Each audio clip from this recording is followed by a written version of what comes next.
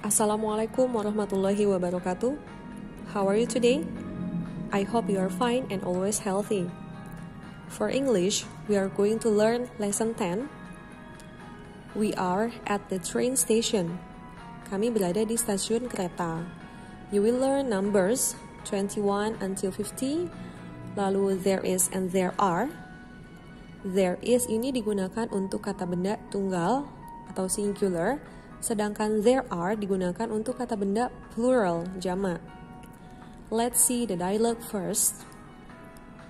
Do you know where Zainab is? Apakah kamu tahu Zainab di mana? She is at Manggarai Station. Dia sedang berada di stasiun Manggarai. Where is she going? Akan pergi ke mana dia? She is going to Tanah Abang. Dia akan pergi ke Tanah Abang. Lalu di halaman selanjutnya ada beberapa pertanyaan ya. Kita diminta menjawab berdasarkan dialog yang kita sudah baca sebelumnya. Number one, number one, where is Zainab? Di mana Zainab? Jawabannya she is at Manggarai Station. Dia ada di stasiun Manggarai. Lalu number two, is she going to take a bus? Apakah dia akan pergi naik bis? No, she is not. Tidak. Dia naik apa di stasiun? Naik kereta. Number three, where is she going? Ke mana dia akan pergi? She is going to Tanah Abang. Dia akan pergi ke Tanah Abang. Number four, how many people are there in the picture? Tadi di gambar yang di depan ya, yang lagi ngobrol itu ada berapa orang? Two people. Lalu, are Mamat and Juki at Manggarai Station too? Apakah Mamat dan Juki juga ada di stasiun Manggarai? Jawabannya no, they are not. Nah, di sini ada beberapa kosakata. Ada commuter line, railway station, queue, train driver, passengers, train schedule, ticket, information room, entrance and exit gate, ticket vending machine.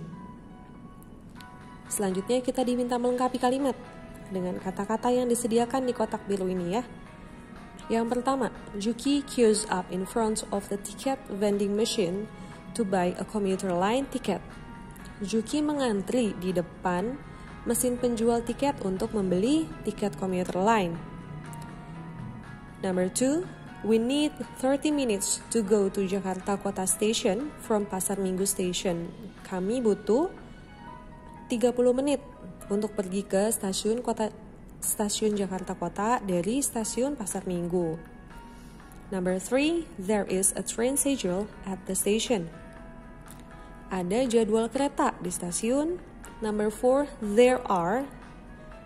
Ini ibu pakainya are ya, karena kan yang ditunjuk Muhammad Juki, Zainab, dan Mumun. Ada banyak ya. Sedangkan di sini there is mungkin agak keliru ya. Jadi kita pakai there are Muhammad Juki, Zainab, and Mumun at Pasar Minggu Station. And then ada sedikit teks ya. Nanti kamu diminta menjawab pertanyaannya. Kamu yang kerjakan sendiri ya nanti ya. Tapi kita pahami dulu teksnya. On Sunday morning, pada minggu pagi, Mamat, Juki, Zainab, dan Mumun want to go to Monas. Mamat, Juki, Zainab, dan Mumun ingin pergi ke Monas. It is their first time to go around Jakarta by commuter line. Ini adalah pertama kalinya mereka pergi keliling Jakarta dengan commuter line. They go from Pasar Minggu Station to Gambir Station. Mereka pergi dari stasiun Pasar Minggu ke stasiun Gambir. It takes about 30 minutes, sekitar 30 menit memakan waktunya, to enter the station untuk memasuki stasiun.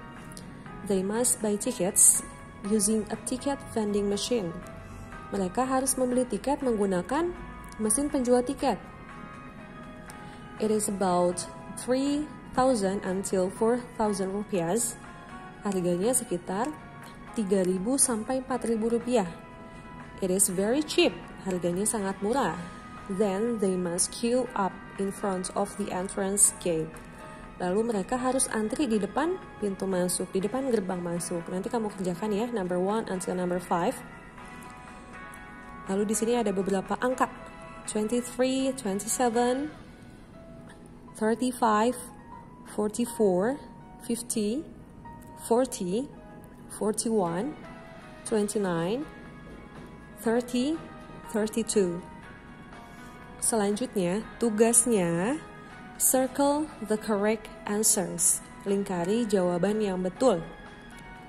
Apakah is atau are? Untuk menjadikan kalimat ini kalimat yang benar ya. Nah, kamu lihat dulu nanti benda yang ditunjukkan itu jamak atau tunggal. Contohnya number one, there is atau are ya. Lots of people on the train. Banyak orang di dalam kereta. Maka nanti to be yang digunakan is atau are. Kamu pilih yang betul dilingkari ya.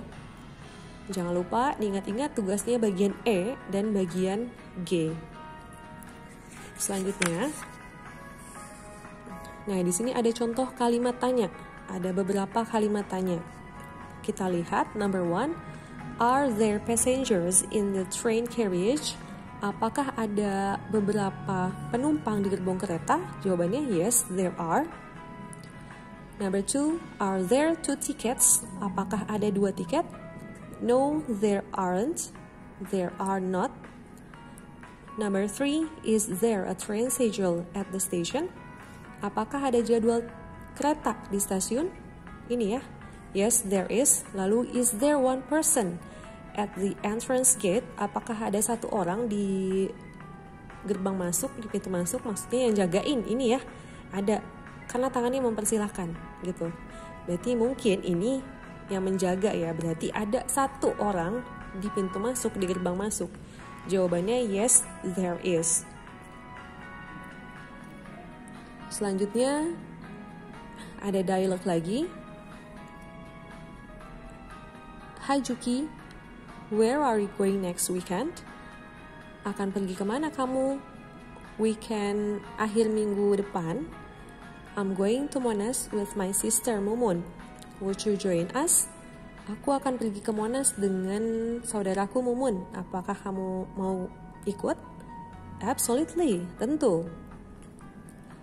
Lalu dia bilang, I can't wait to go to Monash by commuter line aku nggak bisa nunggu lagi nih mau pergi ke Monas dengan commuter line, naik commuter line. Would you like to come with me and my brother? Maukah kamu ikut denganku dan saudaraku? Mungkin abangnya gitu ya. Nah dia nanya temennya ini, nah temennya jawab, of course, tentu, I will join you, aku mau ikut. That will be fine. That will be fun, I'm sorry. Akan sangat menyenangkan sepertinya. Oke, okay. Di sini kita diminta circle the correct answers based on activity L. Nah, lingkari jawaban yang benar berdasarkan dialog yang sudah kita baca tadi ya. Number one, Mamat and Juki are going to Monas. Yang betul, bukan Taman Menteng. Lalu number two, they will go to Monas by commuter line. Three, Juki will go to Monas with his sister. 4. Mumun is Juki's sister.